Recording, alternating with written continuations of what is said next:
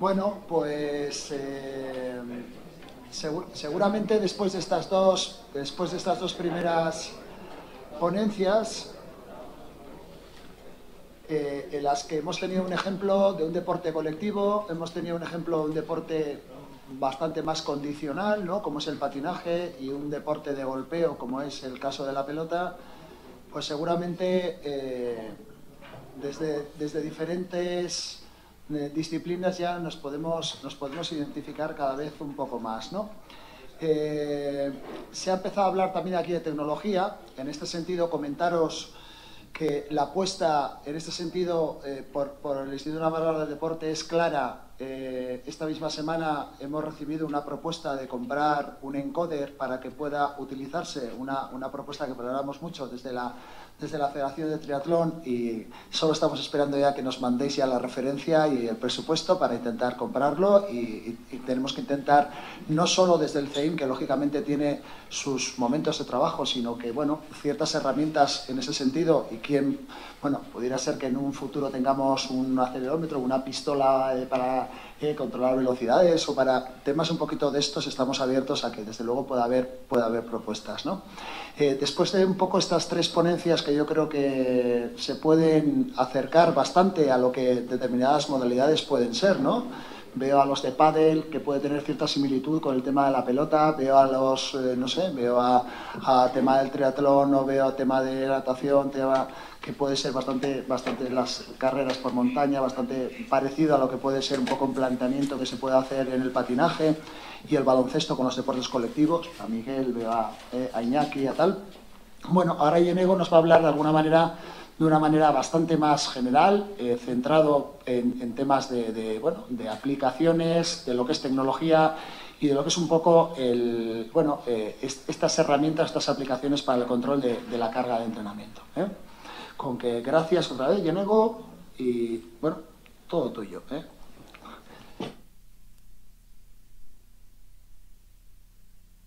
Opa, buenos días a todos.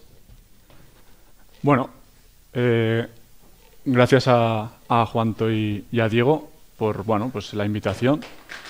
Y a ver, eh, la idea un poco de esta píldora es, eh, habéis visto tres enfoques más específicos, vamos a dar como un, enfoque más general y después añadiré dos variables o índices de, de carga a las que ya se han mencionado. Sobre las que se han mencionado haré una pequeña justificación bibliográfica para que veáis que hay ciencia detrás y después en cada una de ellas veremos qué herramientas, eh, dispositivos, aplicaciones se pueden utilizar, ¿vale?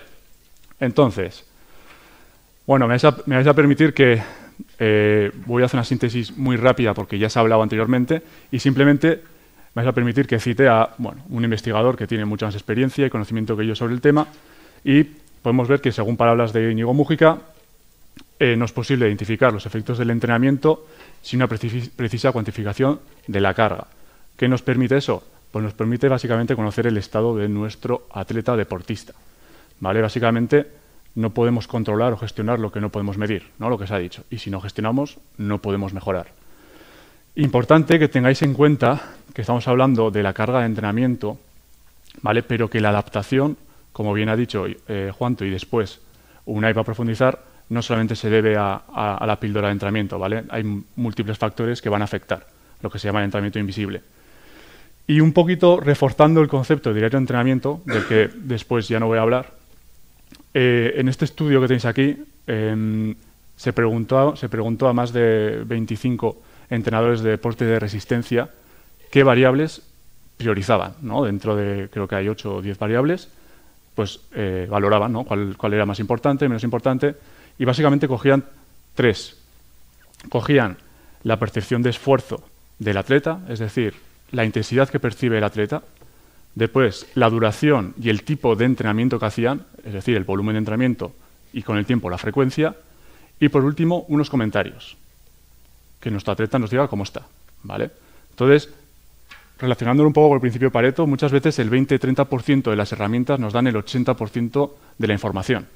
Entonces no os volváis muy locos también, porque como veréis ahora, se pueden ver todas estas variables de entrenamiento. Hay una cantidad increíble de variables. Cada año pues, salen incluso más. Cuanto más herramientas hay, más salen. Entonces, Lo importante es que elijáis cuáles controláis, cuáles podéis utilizar y seáis buenos en ellas. ¿no?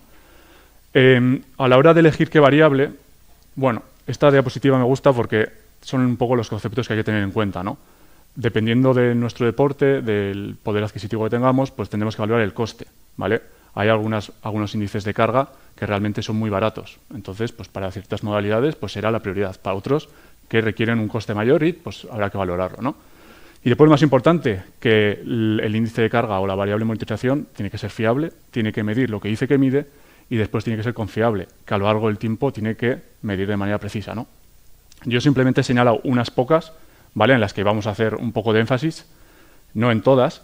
En dos de ellas ya se ha, ya se ha hablado y yo añadiré dos más, como he dicho anteriormente. Bueno, en cuanto a variables de carga interna, eh, tenemos los diferentes marcadores de frecuencia cardíaca, ¿no? Como ya ha explicado Ángel. Uno de ellos es lo que viene a hacer eh, él, la gestión de tiempo en zonas, básicamente en base a, un test de frecuencia cardíaca máxima. Pues hay diferentes eh, opciones. Podemos hacer un tiempo en zonas en modelo trifásico, pues de tres zonas, básicamente, lo que él creo que hacía, de cinco zonas. Bueno, eso ya lo tiene que elegir cada uno. Em, y en base a un valor de que le damos a cada zona, pues podemos eh, crear un, valor cuantitativo de la carga total, ¿no? que puede ser semanal o diario, después se, suma y se hace el semanal, y básicamente tenemos una idea. Este es un ejemplo que hicimos de la monetización de de un entrenamiento del Beta-Anitasuna, ¿vale? que después de unos test que, realizaron en el, en el CEIN, en el que pudimos obtener pues, su frecuencia cardíaca máxima y las diferentes zonas, eh, monitorizamos un entrenamiento. ¿vale? ¿Cuál era la idea de este entrenamiento? Pues ver, Kike, el entrenador, qué variables podía utilizar ¿vale? con el tiempo que disponen, porque muchos preparadores no tienen tanto tiempo, entonces adaptarlo. ¿no? Em, ¿Cómo medimos la qué herramienta? Bueno, hoy en día la verdad es que la frecuencia cardíaca ya, vamos, se puede medir en todos los contextos, ¿vale? Tenemos desde deportes cíclicos, deportes como el fútbol, que se suele medir también pues, datos de GPS, ¿no? aceleraciones, tiempos en diferentes zonas de velocidades, etcétera. Incluso en medios acuáticos, ¿vale? Ya tenemos pues, pulsómetros que se pueden utilizar en agua, incluso dispositivos que son un poco, tienen un poquito más de error, pero miden con bastante fiabilidad, eh, que, no, son bandas de, pecho, ¿no? Vale, Además de eso, tenemos otros dispositivos, los otros dispositivos comerciales, ¿vale? De, muñeca, hay algunas marcas que ya dan valores bastante interesantes. En este estudio realizado en el 2020 se comparaba diferentes modelos de, tres marcas y eh, se comparaba con el gol estándar en este sentido, que es una prueba de esfuerzo eh, con el electrocardiograma de 12 derivaciones. ¿Y qué veían? Bueno, pues veían que había ciertas marcas, eh, sobre todo, pues, por ejemplo, el Apple Watch de, Apple, que realmente tienen un error muy bajo. Entonces, bueno, que tenéis esa, existe esa opción también. Vale como un nuevo índice de, carga, tenemos también la variabilidad de la frecuencia cardíaca. Para aquellos deportistas, deportes que no quieren ponerse la banda durante el entrenamiento, el, partido, pues porque son incómodas o, bueno, cada uno tiene sus ideas, podemos medir la, variabilidad de la frecuencia cardíaca fuera del contexto de entrenamiento, a la mañana, por ejemplo. Básicamente, para los que no sepáis lo que es, pues la variabilidad de frecuencia cardíaca es la variación en el tiempo entre eh, los intervalos RR en un electrocardiograma. Básicamente lo que mide es un poco la relación entre el sistema nervioso simpático, encargado de todas las acciones de lucha, huida, y el parasimpático, todo lo relacionado con reparación de tejido, recuperarte. ¿no? Aquí podéis ver eh, dos marcadores de variabilidad de frecuencia cardíaca del, del HRV4 Training, ¿vale? que utiliza una esquiadora de alto nivel con la que trabajamos. ¿Vale? Ella lo que hace es apuntar el entrenamiento, además de otras variables, que, y va viendo pues, un poco cómo va cambiando los marcadores de variabilidad de frecuencia cardíaca. Se ve que cuando la variabilidad de frecuencia cardíaca es mayor, estamos dispuestos para un nuevo entrenamiento, un nuevo estímulo, un entrenamiento más intenso. Cuando es menor, pues igual habrá que gestionar, ¿vale? Pues ese día entrenará menos, gestionamos la carga, ¿no? Como justificación a, esta variable, bueno, ya en 2014, ¿vale? Eh, Martín Bussoy hizo una, revisión importante sobre el tema en el que explicaba cuándo hay que medir esa variabilidad de frecuencia cardíaca, ¿vale? Pues en reposo, por ejemplo, explicaba pues, que al despertarse los rangos más fiables eran entre 2 y 8 minutos, tenía que estar sentado, ¿vale? Y después se veía que también se puede ver en ciertos contextos, pues en, intensidades submáximas, en carrera en bici, el último minuto de una serie se podía medir, ¿vale? Entonces, hace aquí un, resumen y nos, explica en 2014, que son hace 10 años, eso ha cambiado, nos explica que ya en deportes individuales que, va a hacer que se va a hacer una monitorización de 3-4 veces a la semana de la, de la variable de frecuencia cardíaca es una herramienta útil. ¿vale? Entonces, eso para tener en cuenta. En deportes de equipo, pues posteriormente se vio ¿vale? que también se puede utilizar. Tenéis aquí estudios de mm, la selección brasileña de, rugby y hay también evidencia con eh, equipos universitarios de fútbol americano en la que ya utilizan esto en deportes de equipo también, ¿vale? Y con menos tiempo sentado de 8 minutos. En este caso, por ejemplo, simplemente estaban dos minutos sentados, cogían el valor y con cuatro días a la semana ya veían que se podía ver la carga de manera fiable. Se suele coger este marcador, el, eh, que este es un diferencia cuadrática, media, intervalo RR, normales sucesivos, el LNRMS SD. Bueno, es un poco complicadillo. ¿Qué dispositivos tenemos? Bueno, pues la, una herramienta, por ejemplo, el Polar eh, V800 ya sabemos que es fiable para eso. En cuanto a aplicaciones, software, herramientas, pues partiendo un poco de los más precisos o gol estándar a un poco menos precisos, por ejemplo, para los estudios en esta temática se suele utilizar Cubios, ¿vale? que es un software de pago que para el que quiera y tenga los medios, pues es interesante.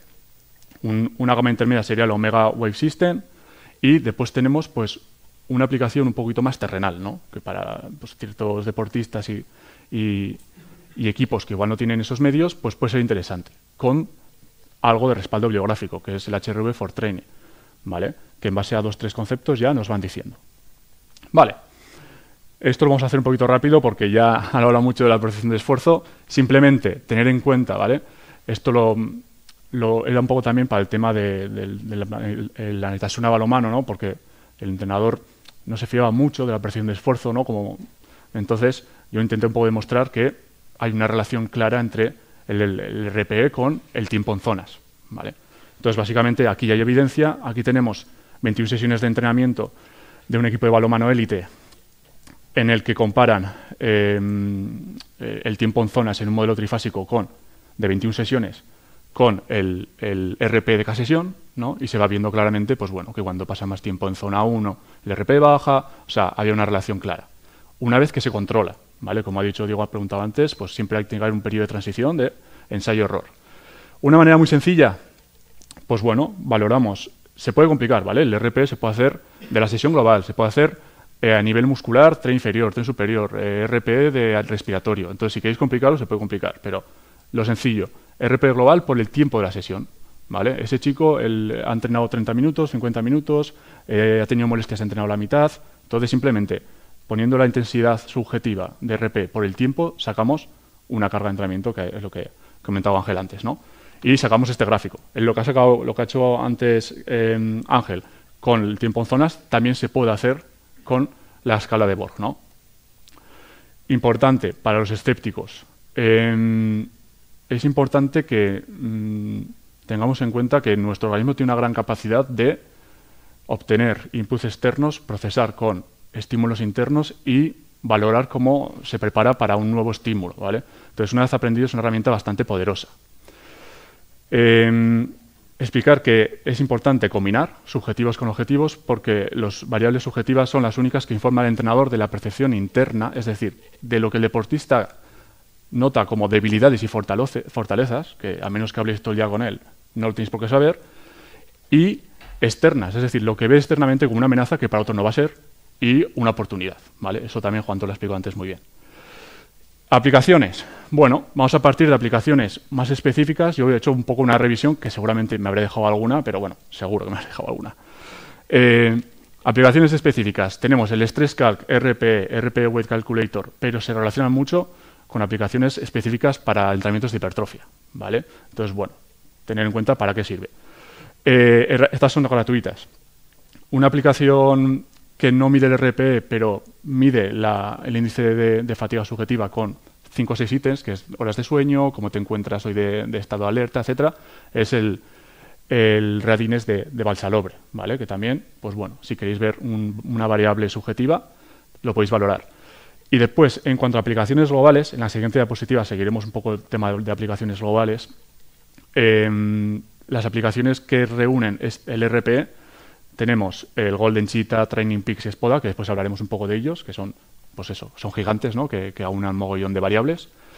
Me ha gustado que eh, fue Xavi el que me propuso de eh, el Virtual CT, que es un software, también tiene aplicación, que te mide ciertas variables de carga interna, como cinco o seis cositas muy rápidas de, fatiga, sueño, el RPE, y te relaciona un poco con el tiempo de, entrenamiento, si la pérdida salto en CMJ, que después veremos. Entonces, es bastante interesante.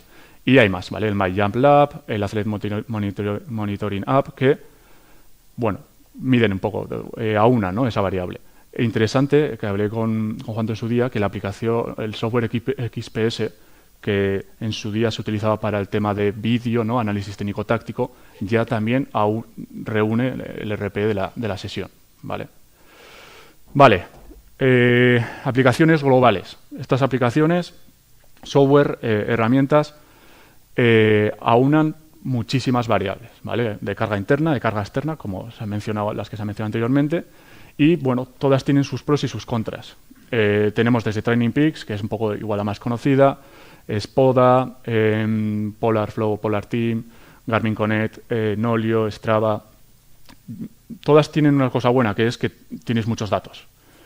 La cosa es que después tienes que saber qué hacer con ellos. Yo veo una lista de contras que hay que considerar, simplemente considerar Contras, casi todas son de pago. O sea, muchas sí que mm, tienes que hacer una pequeña inversión y, bueno, hay que pagar.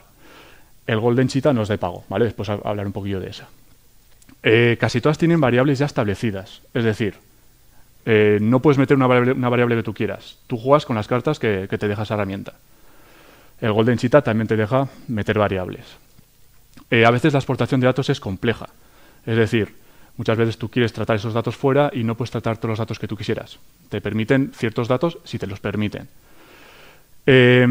Algunas son muy específicas para algunos deportes. Eh, por ejemplo, Nolio es muy específica para esquiadores. Training Peaks tiene muchas variables muy específicas de trabajo con potencia que al final, pues igual para una persona que no quiere trabajar con eso, igual le confunde. ¿no? Em, y después sí que es verdad que muchas requieren cierto tiempo para su uso. ¿vale? Si, tenemos, si somos un preparador que realmente tenemos poco tiempo, igual nos volvemos muy locos, porque al final hay muchas variables, tienes que tener muchas cosas en cuenta, entonces hay que ver si es para nosotros o no.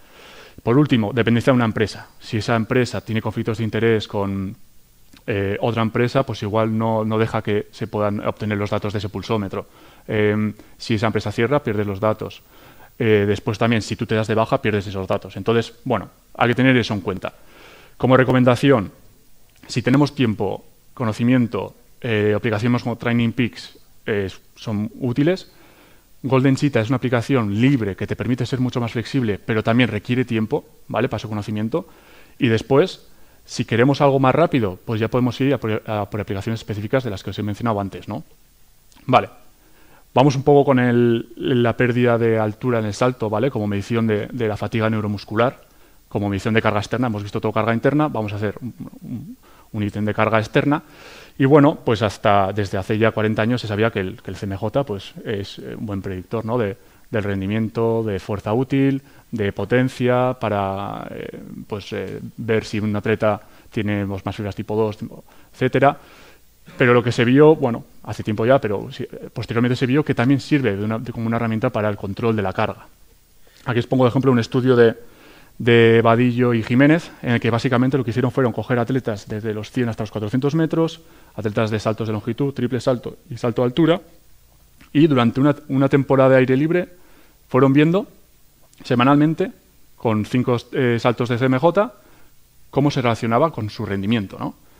Y básicamente lo que vieron fueron que cuando el atleta obtenía la mejor marca o la mejor competición eh, del, del año, pues su, su CMJ semanalmente iba subiendo, ¿no? Cuando se conseguía la peor marca, no mejoraba. Y lo relacionaban con el volumen de entrenamiento. Entonces ahí, pues la conclusión que sacaron fue que hacer un tapering con un volumen de entrenamiento menor y con un pequeño pico la, tercera semana previa a la competición, pues puede ayudar al rendimiento. Entonces simplemente tener ese dato semanal, pues puede ser interesante para pues decidir, ¿no? Si ajustamos el volumen o no, o metemos más, menos, intensidad. Vale. Dispositivos.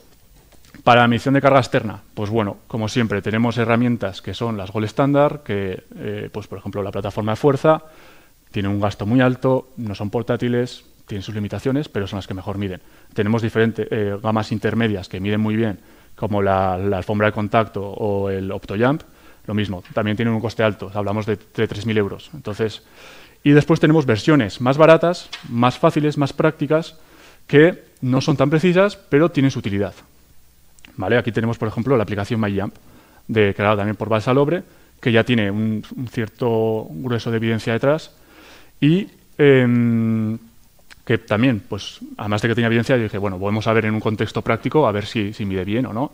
Y fuimos también en ese mismo entrenamiento con el Mediterráneo Asuna, medimos tres dispositivos, el OptoJump, el MyJump y un tercero que está eh, en prueba, que está en versión beta, y vimos que, pues que, que en comparación al OptoJump, el MyJump medía de manera precisa cuando una persona ya estaba un poco entrenada. Tiene dos, tres limitaciones. El, el, hay que tener en cuenta pues, que la cámara tiene que tener más de 120 fotogramas por segundo. Eh, después también que depende del fotograma te puede cambiar medio centímetro de altura, pero bueno, se puede, si se aplica siempre igual, es una herramienta bastante viable. Eso en cuanto a la monitorización. Y esto es un poco, viene, os cuento ahora el tema de, de los medidores de fuerza, porque esto va un poco en cuestión de alguna cuestión que ha tenido algún director técnico y simplemente son dos, tres pinceladas porque esto requiere ya otra, otra charla. ¿vale? Em, simplemente, que aunque sirve para la monitorización de la carga, normalmente se suele utilizar para la prescripción, ¿vale? pero sirve también. ¿De qué me fío? Bueno, para eso, em, lo dicho, habría que abundar mucho en la bibliografía y se tendría que hacer una charla más extensa. Pero os voy a dar cinco pinceladas. Un poco en base a, esta revisión que se realizó en 2021 de medición de análisis de las diferentes herramientas que había. Bueno, generalmente los transductores lineales son más precisos, ¿vale? Tenemos que ver qué diferencia entre transductores lineales, eh, acelerómetros, eh, aplicaciones, suelen ser más precisos. Después, que hasta la fecha solamente hay eh, seis marcas, Ginawar, T-Force, Open Barbell, Fitrodine y Fitrodine Fitronic, que se han comparado realmente con el Gold Standard, que es el sistema de captura de movimiento en alta velocidad en 3D, ¿vale? Y que cuando, eh, entre, esas entre, entre, esas seis variables, perdona, eh, cuando analizamos la ejecución, la, la, velocidad de ejecución con cargas en tres dimensiones, el GNAWAR es el más preciso. Cuando lo, lo, analizamos en dos dimensiones, es decir, en una multipower, que no hay un desplazamiento horizontal, el T-Force es válido, es muy fiable. ¿no? Y por último, que las aplicaciones para teléfono, que ahora veremos, eh, pueden ser una alternativa siempre que siempre se utilice el mismo móvil. ¿vale? Se ve que hay fallo o hay cambios importantes cuando se utilizan diferentes móviles o dispositivos.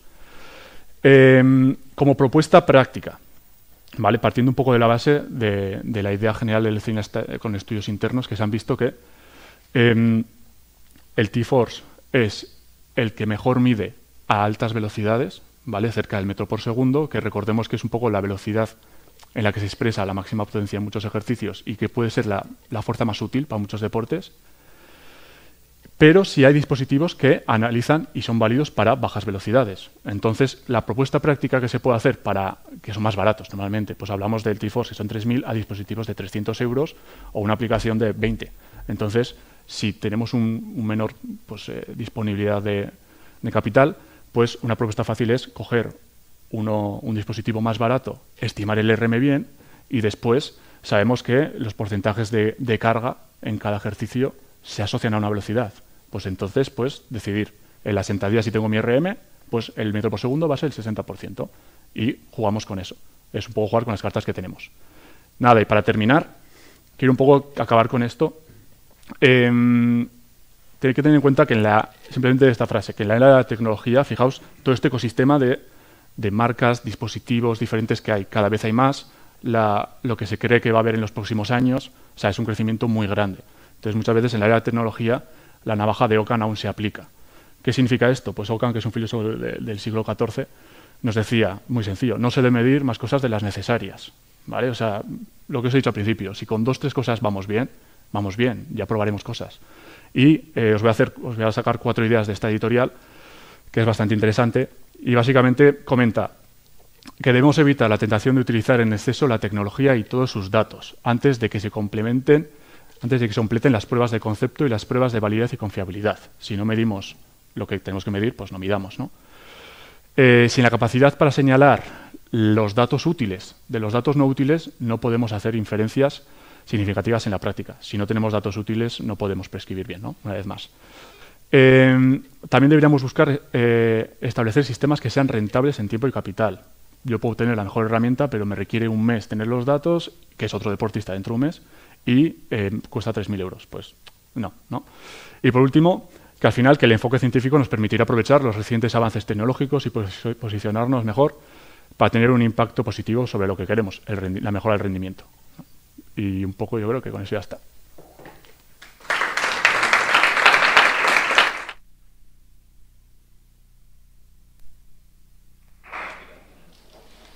¿Alguna pregunta?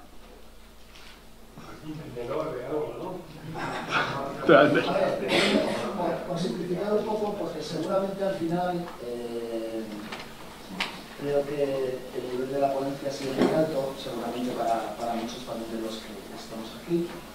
Eh, un poco esto de, que los aprendizajes tienen que ser siempre dentro de, la, noción de aprendizaje significativo, ¿no? movernos siempre un poco en este umbral.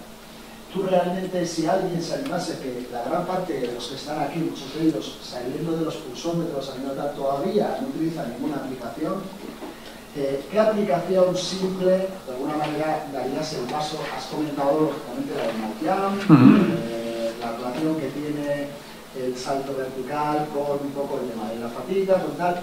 ¿Qué aplicaciones recomendarías un poco a la gente que se quiera iniciar un poco a nivel tecnológico? ¿no? ¿Eh? Es un mundo, evidentemente, que evoluciona a una velocidad a la que, a la que es muy difícil ¿no? agarrarte a ese tren. ¿no?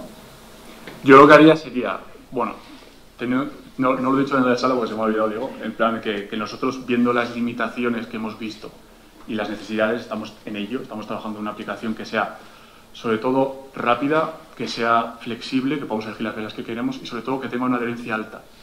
Porque el, el, cuaderno de entrenamiento es muy interesante, pero sí que es verdad que requiere un esfuerzo alto y muchas veces la adherencia baja, es que es así, la realidad.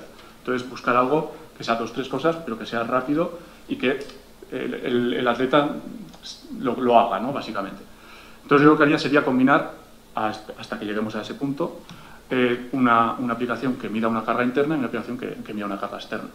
Entonces, es muy fácil, por ejemplo, podríamos ver, si no queremos pulsómetro, pues eh, Virtual CT, por ejemplo, en el que pues, podemos valorar la, percepción de esfuerzo con cinco ítems de, de, bienestar, entre comillas, y con, si queréis con la de MyJump, por ejemplo, si queréis ver algo, una carga externa. Eh, ¿Coste? La, la, de, eh, la de Miami no sé si son 18,99 y, y, la de Virtual sí que es un poquillo más cara, pero son 50, 150 al año, ¿vale? Pero era de las más baratas globales, o sea, es lo más asequible que he llegado a ver.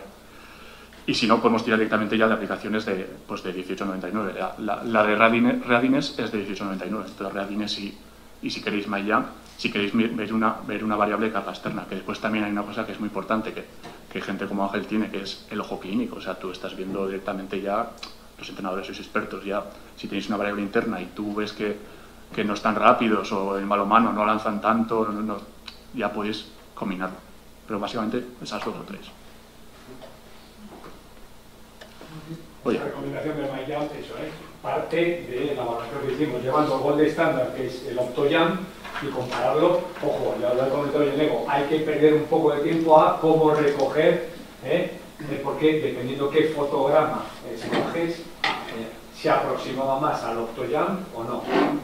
Pero es verdad que como dato objetivo, MyJump, pues, con 19 euros, trabajando un poco con él, te puede dar ese dato objetivo.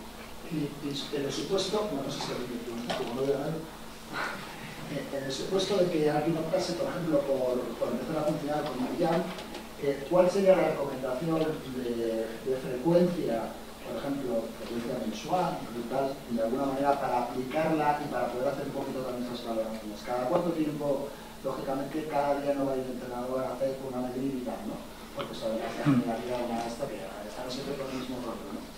¿Cuál sería un poquito tu recomendación? Podríamos hacer, podríamos replicar lo que hacen en ese estudio, que hacen eh, una vez a la semana, el, lunes después de haber descansado el domingo, hacen cinco saltos, descartan lo de los extremos y hacen una media con los tres intermedios. Y vas viendo esa media como semanalmente con, puedes hacer cinco saltos o, si queréis dos y una media, ¿sabes? Pero bueno, como queráis. Sí, eso se cambia semanalmente. Y, otra pregunta, la aplicación con Maya puede ser válida para, puede ser válida para cualquier eh, disciplina, cualquier modalidad. Claro, a ver, tener, aquí casi todas las herramientas... ¿Te dado cuenta que tenemos realmente una... Sí, a ver, yo es que también tengo que ser un poco cauto, ¿vale? Porque hay que tener la ciencia al final, los estudios de validez siempre se hacen en, en poblaciones específicas, en contextos específicos. Eh, sé que la de la de Mayan, pues eso, tenía, eh, no me acuerdo, creo que eran atletas. Entonces, eh, a ver, extrapolar, se puede extrapolar, pero si, si eres súper metódico al final, con todo, pues al final te, te atas mucho. Entonces, yo probaría. Eh, sí que lo he dicho, hemos visto que con, en balonmano, pues los valores son muy parecidos. Entonces, mi propuesta es que si hay cierta evidencia, nos animemos a probar. Y si una vez que probamos no nos sirve, pues ya está.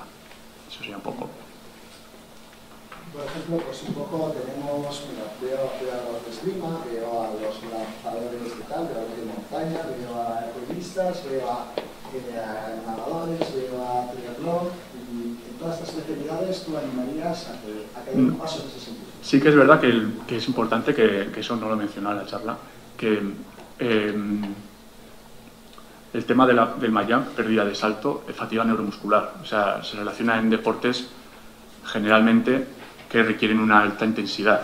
Es decir, ¿vale? El, se me ha olvidado, es que se me ha ido.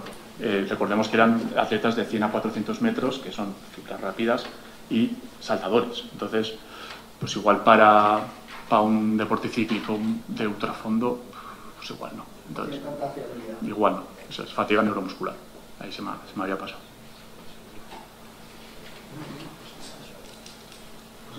Oye.